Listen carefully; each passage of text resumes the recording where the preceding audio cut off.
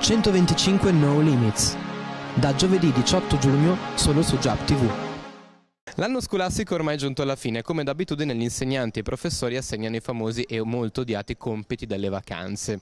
Ma a Porto San Giorgio, nelle Marche, un giovane professore ha deciso di assegnare dei compiti un po' speciali. Ballate senza vergogna e sognate la vostra vita, non dite parolacce e siate sempre gentili, almeno una volta andate a vedere l'alba. Leggete e sognate il vostro futuro, se vi sentite tristi o spaventati non vi preoccupate, l'estate come tutte le cose meravigliose mette in subbuglio l'anima.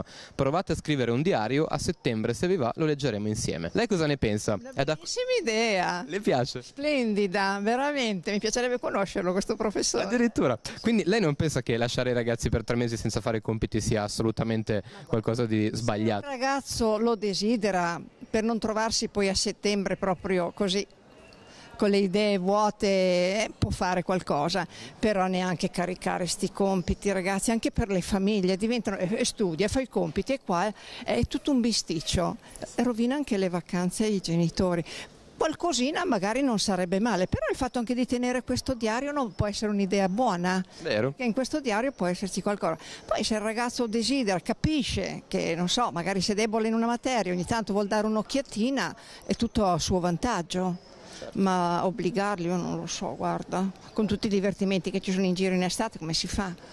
Beh, un po' di compiti magari farebbero bene, però è una cosa anche alternativa per cercare di stimolare i ragazzi. Quella di fare i compiti, dice, oppure quella che ha detto questo professore? Sì, questa nuova idea, sì, anche perché i ragazzi comunque devono un attimino rilassarsi e, e vedere, non, non, si imparano tutte le cose a scuola, quindi oltre ai compiti fare anche qualcosa di diverso, vedere in giro cosa c'è.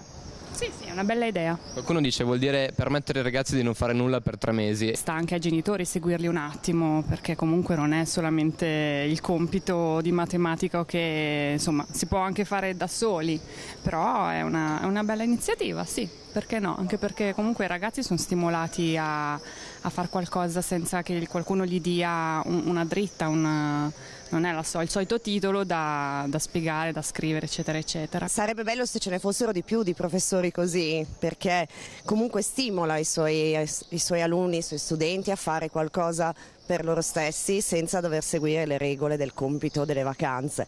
Perché se non ricordo male dice anche in un passaggio leggete libri ma perché lo volete fare e quindi quella è la, la cosa bella che devono cercare di tirar fuori, secondo me, gli, insegnanti dai loro studenti. Forse stimola ancora di più i ragazzi rispetto all'obbligo di fare i compiti, no? Sicuramente, anche perché un libro, per esempio, letto per scelta è un conto, un libro letto per obbligo non ti lascia assolutamente nulla.